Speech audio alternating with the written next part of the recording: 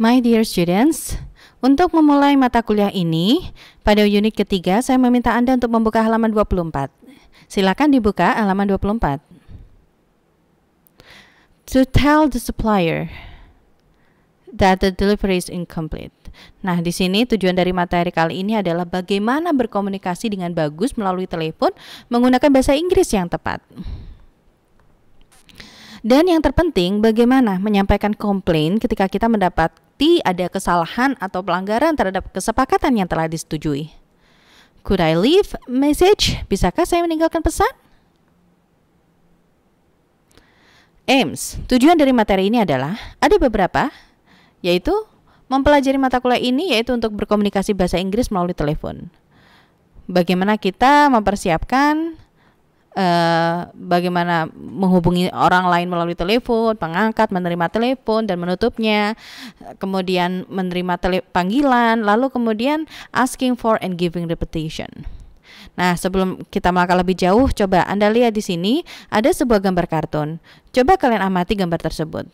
Say what the problems are and how are the problems like this can be avoided. Ya nggak apa-apa. Uh, ya apa sih kira-kira permasalahan yang kalian temukan? Coba kalian analisa. Kalian amati gambar itu lebih teliti lagi. Oke di situ terdapat dua orang ya. Dua orang dengan perbedaan ras dan sepertinya berbeda negara. Apa yang membedakan ini? Seperti ada suatu masalah. Apa kira-kira? Coba dipikir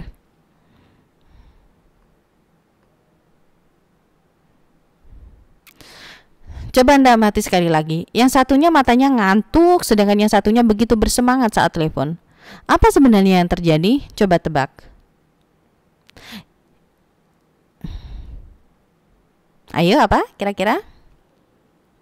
Ya betul, permasalahan yang terjadi itu berdasarkan perbedaan time zone. si penelepon berasal dari New York, dia menelepon dari New York yang saat itu sedang jam 11 pagi. Sedangkan di Jepang yang sudah sangat larut malam karena selisih 10 jam sehingga jam 2 pagi. Tentu ini membuat perbedaan dan tidak efektif dong dalam berkomunikasi secara profesional. Dan it's kind of annoying sometimes when people call us up then it doesn't suit with available time.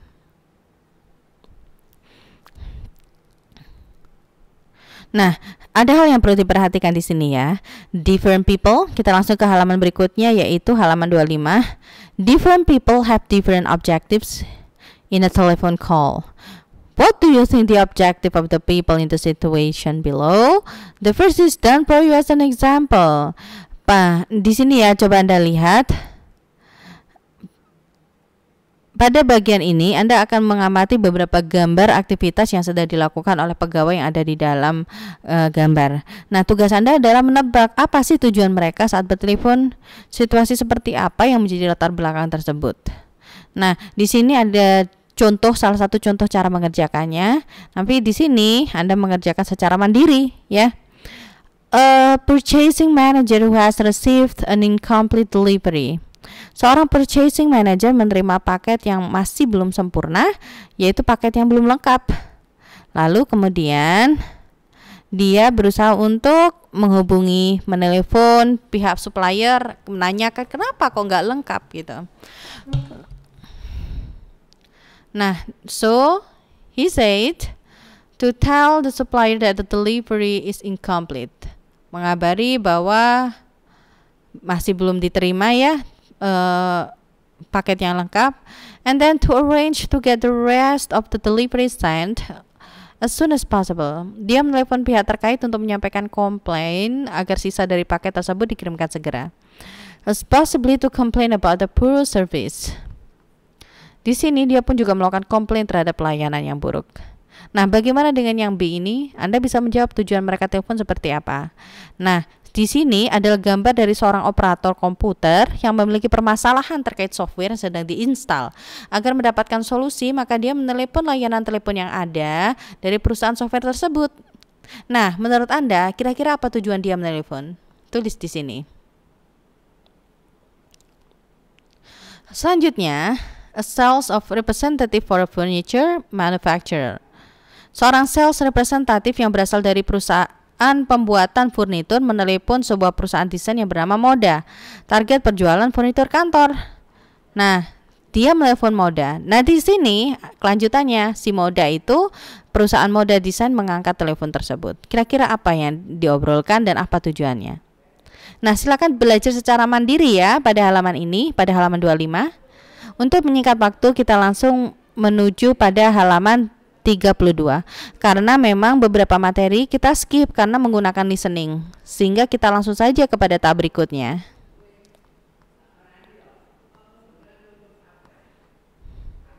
kita langsung ke halaman 32 ya Bagaimana sih dan apa sih yang harus kita katakan saat berkomunikasi melalui telepon dengan menggunakan bahasa Inggris yang tepat? Using the telephone. Nah, kita fokus ya, kita fokuskan. Introducing yourself. Kita perkenalkan diri kita. Good morning Aristo, selamat pagi Aristo. Gitu. Hello, this is Aristo from Jakarta. Hello, ini adalah Aristo dari Jakarta. Hello, my name's Aristo, calling from Jakarta. Hello, my name is Aristo dari nama saya adalah Aristo. Saya menelpon dari Jakarta. Coba atau mungkin dari company from University of Merdeka Malang. Nah, sekarang coba bayangkan Anda sendiri yang berbicara seperti itu. Hello, my name is Laila, calling from ABC Company. Nah, seperti itu. Jadi, yang tahap yang pertama adalah you should introduce yourself. Then, yang tahap selanjutnya adalah saying who you want. Kita kabari, kita ingin menghubungi siapa gitu. I'd like to speak to bla bla bla please. Saya ingin ngobrol dengan please gitu. Jadi Anda sebutkan nama orangnya. Saya ingin ngobrol dengan Bapak A, Bapak B. I'd like to speak to Bapak A gitu. Please gitu. Atau bisa juga could I have the head of department please gitu. Apakah saya bisa menghubungi kepala departemen gitu? Could I have itu juga boleh atau bisa langsung aja bertanya dan ini sedikit kurang formal ya. Is an is Andy there please? Gitu. Apakah Andy di sana? Nah itu pertanyaan seperti itu. Hanya tidak hanya bertanya bahwa dia ada di sana atau tidak tetapi itu pertanda bahwa si penelepon ingin ngobrol dengan Andy gitu. Saying someone is not available. Bagaimana jika ada sese seseorang menelepon kemudian yang dihubungi tidak ada di tempat anda yang mengangkat telepon bisa bicara seperti ini. I'm sorry, he is not available. I'm sorry, she is not available. Sorry, he is away. Sorry, he is not in the, the office. Sorry, he is not in a meeting. Sorry, he's in Milan. Jadi uh, Anda menjabarkan alasan kenapa dia tidak ada di situ. Selanjutnya, leaving and taking messages. Sebelum kita menutup telepon karena memang orangnya tidak ada, maka kita harus menanyakan dia mau pesan apa biar nanti bisa disampaikan gitu. Nah, maka cara bertanyanya adalah could you give him a message? Could you give her a message? Anda mau nitip pesan? Gitu. Bahasa Indonesianya seperti itu. Can I leave him Can I leave her a message? Gitu. Sebelum ditutup ya, apakah saya bisa nitip pesan gitu? Please tell him, tolong sampaikan padanya. Please tell her, tolong sampaikan padanya. Please ask him, please ask her to call me at. Tolong sampaikan padanya untuk menghubungi saya pada jam tertentu. Can I take message? Gitu. Saya bisa nitip pesan? Would you like to leave a message? Gitu. Apakah anda mau nitip pesan? If you give me your number, I will ask him or her to call you later. Jika Anda menitipkan nomor Anda, saya akan meminta mereka untuk menghubungi Anda lagi. Gitu. Lalu, bagaimana jika kita ingin menawari mereka bantuan? Misal uh, karena mereka si penelepon itu tidak bisa mendapatkan apa yang dia inginkan, lalu Anda menawarkan bantuan. Offering to help in other ways. Can anyone else help you? Apa ada uh, lain orang lain di sini yang bisa membantu Anda? Atau can I help you perhaps? Atau ada yang bisa dibantu mungkin? Would you like to speak to his assistant? Apa Anda mau ngobrol dengan asistennya saja? Shall I ask him to call you back? Apakah saya perlu meminta dia untuk menelpon Anda lagi? Atau mungkin pada waktu pada saat ngobrol melalui telepon kemudian ter, ada jaringan yang uh, menghambat sehingga terputus-putus. Lalu kemudian Anda meminta untuk mengulang lagi. Asking for repetition. Excuse me, sorry, I didn't catch your name, your number, your company name. Permisi, maaf saya tidak mendengar tadi nama Anda siapa? gitu. Excuse me. Jadi pertama kali harus ada excuse me untuk uh, apa ya, sapaan yang sopan gitu. Excuse me, sorry, could you repeat your name? gitu. Bisakah Anda mengulang nama Anda lagi, nomor HP Anda lagi dan lain-lain? Excuse me, sorry, I didn't hear that. Permisi, maaf saya tidak mendengarnya.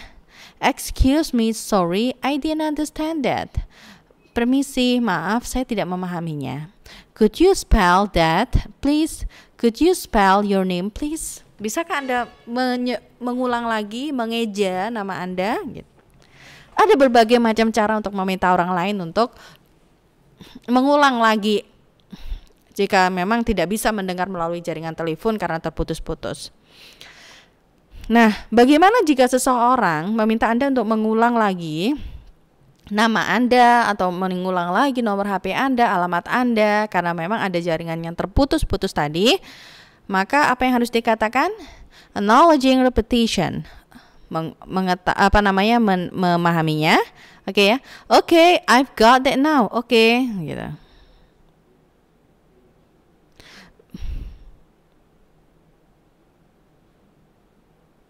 Bagaimana jika seseorang sudah mengulang apa yang di namanya, alamatnya, lalu kemudian Anda menghargai, mengapresiasinya? Maka Anda bilang, "Oke, okay, I've got that now." Oke, okay, saya sudah dapat, saya sudah menulisnya, saya sudah memahaminya. I understand, saya paham. I see, thank you. Oh iya iya, saya sudah paham. Terima kasih. Gitu. Pada saat menerima telepon, that's preparation, things that you need that you should have in the following and there should be available in your desk is relevant documentation or notes. Jadi ada dokumentasi yang relevan ya. Kemudian correspondence receive, computer files on screen, pen and paper and diary. Di sini bisa dipelajari secara mandiri ya. Terima kasih students atas perhatiannya and have a great one.